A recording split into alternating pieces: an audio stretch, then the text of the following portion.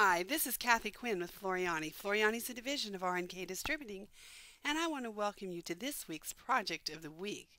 Well, I want to say hello from Houston Quilt Market. It's absolutely fantastic. And if you haven't made plans for festival, you can make plans. Come to festival. We have all kinds of amazing pricing in the booth, and the show is tremendous. So I would recommend it to all of you. Uh, today's question, or today's project of the week, comes from a question I got here at Quilt Market. And it was about working with artwork. Now we have done, I have done videos explaining the differences between JPEG files and vector files, and we've talked about that. But I had a very specific question this week. So with that question and with a little bit of help from one of our other educators, Mark Garretts, I just want to show you the fun I've had here at Market. Now, if you have a piece of artwork, a JPEG, you've taken a picture of something, you've drawn something, and you want to bring it into the software and you want to create a design from it. There are two ways to do this. The first way is if it's a JPEG, I've taken the picture, I've you know, put it somewhere that I know where it is. So I've put this on my desktop. So now I can go to my backdrop tool, left mouse click on it, and I can click on my cowboys. So I can bring in the cowboys, the logo here, that I wanted to put on a bag. Now this is a JPEG. So I've got a few ways I could work with this. I could use my magic wand tool and I could have it do a run stitch around here. Then I could change that to a steil stitch and or work with it that type of way. Or I could use my magic wand here and I could create an outline over similar areas, which I could also do that. But the best way to work with this, if possible, is I'm going to get a new piece of paper. I am going to bring this same image in, but I'm going to use my wizard because this is a JPEG image. What does that mean? That means this is made up of lot, whoops, I guess I zoomed in too much for that one. This is made of lots of pixels of little color. So you can see that is not a very clean and nice image to work with. So the best images you can work with in software is vector files. And you usually do those through a, a program, uh, a graphic arts program such as Adobe Illustrator, Paint Shop Pro, Corel Draw. Then you create them in there and you can save it. You can save your vector image and bring it in. Well, that's, that's another program. It's another learning curve. I want to show you how amazing and how easy it is with Floriani. So what I'm going to do is get a new piece of paper. I'm going to come to my my wizards here. See my little wizard hat? And by left mouse clicking on my auto wizards, I'm going to go to the auto artwork wizard. Now I'm going to select this and I am going to select the image. Now I'm going to go to my desktop and I'm going to select that same cowboy image that I selected bringing it in with the backdrop tool. Only this time when I bring it in I'm going to say OK, open. Now I'm going to go to next. This is my image. Now if I wanted to change the size of it, now would be the time. I could change the size of the width of the artwork, the height. Now, this is about five inches wide, five inches tall. Now, when I say five inches, it's not the star, it's the cowboys clear across. And then with the cowboys to the top of the star, we have the other little over five inches. So I'm going to leave it at this right now. I'm going to go to next. Now notice it's starting to look different. It's cleaning up that um, JPEG file and it's going to turn it into a vector for me. So I'm going to go, okay, I like this. I'm a happy girl. So next, and I'm going to finish. So now here's my image that I want to work with. So if we look in our sequence view, I'm going to close my properties so we can see this good. You can see there's my artwork cowboys and these are pieces in my artwork. Now I'm not going to keep this, I'm not going to keep the word cowboys. What I want to do is click and I'm going to delete, delete, delete, delete, and delete. So I'm going to delete all of the word cowboys.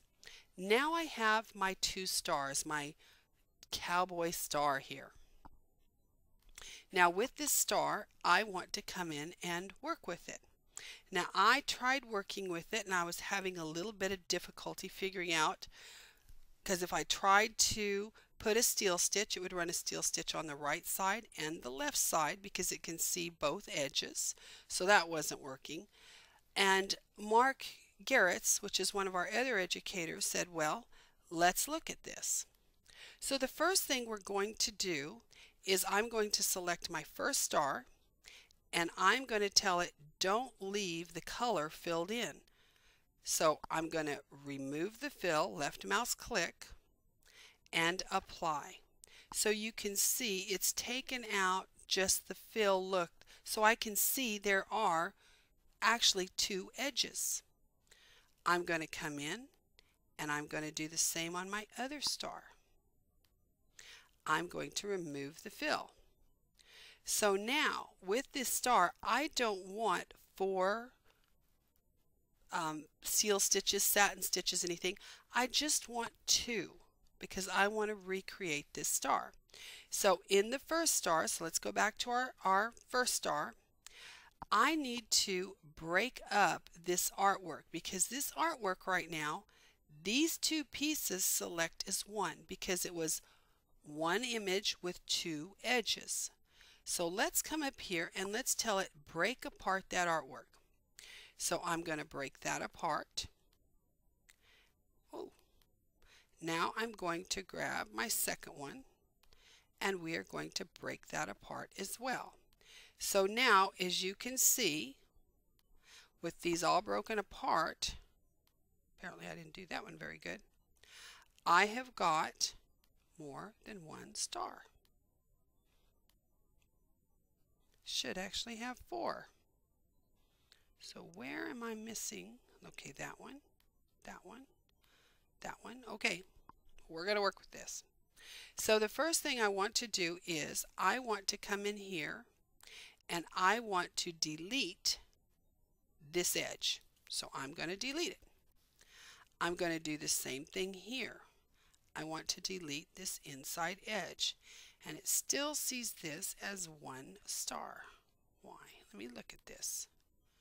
Do you like it when it happens to me?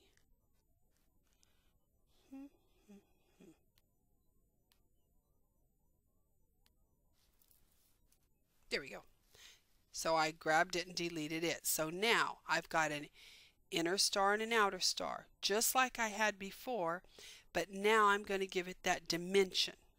So what I wanted to do with this is I actually want to use some gray applique stitch material.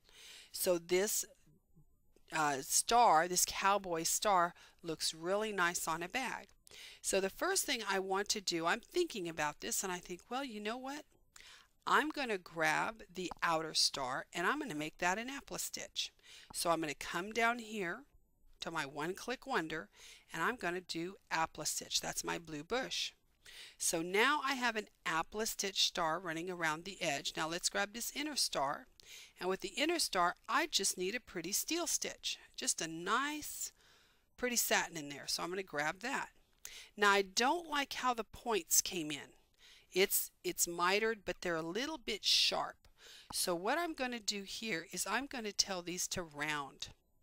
So it's still going to have that mitered look, but they're not going to be as sharp. So I'm happy with this star as far as looking like I want it to. Now if I grab this and I tell this I want it to be blue as well, there we go. So now I've got my, my nice cowboy star here and it is applique stitch so I'm going to use applique stitch fabric. So let me grab the applique stitch part and I'm going to go to fabric here and I want, because it's a gray, I want a gray, and I can use the leather, I could use the gray leather look, I could use a just a, a nice pretty gray velvet look. Let's see. So I can see what my star is going to look like. Now you don't see that inner piece that I had, that inner star, you're not seeing it because I've put this leather within the applique stitch itself. So you're not seeing this upper steel star. So there it is. So now you can see that because it's actually sitting on top of the leather. Now what I would do is, is since the reason I can't see it is because it's on top. So let's grab this, right mouse click on it and say I want to move you to the last. Now there we go. Because it was stitching out first so that's why the leather was over it. So now you can see what I'm going to look like with my applique stitch fabric. Now you'll notice in here I've got a green trapping line. I don't need that line because this inner steil stitch is actually going to hold that down for me. So I don't have a problem with that. I'm going to fit this to screen again. That's going to hold this down. See, when you have applique stitch, remember that fabric's going to tear away from the outside because it's goof-proof applique. But it would also tear away from the inside. Well, this steil stitch is going to hold it on the inside, so I can get rid of this other trapping line. So let's come in here to the applique stitch. Now I can see everything there is in this applique stitch. You see I can see it all? But the deal is with this is that it is one piece. I can see the pieces but I can't play with them individually. So again, I'm going to right mouse click on applique stitch and I'm going to tell it to break up my applique stitch. So now it's actually four colors. Well, I don't need the green. I don't need the tack down line, the trapping line. So I'm going to delete that. So now I have a placement line, a tack down line, a finish line. So you can see how that is going to finish. There we go. That's how I want it to stitch. So let's see how this is going to stitch. Placement. I'm going to lay down my applique stitch fabric. It's going to tack it down. It's going to finish and then it's going to come in and do my nice little inner star. So now I have my wonderful cowboy star. So I've done that. Now I could come in and I could get an alphabet and I could, put cowboys under it if I so chose.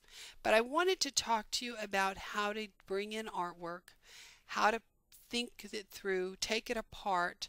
Um, so you noticed we took the fill out so we could see both edges.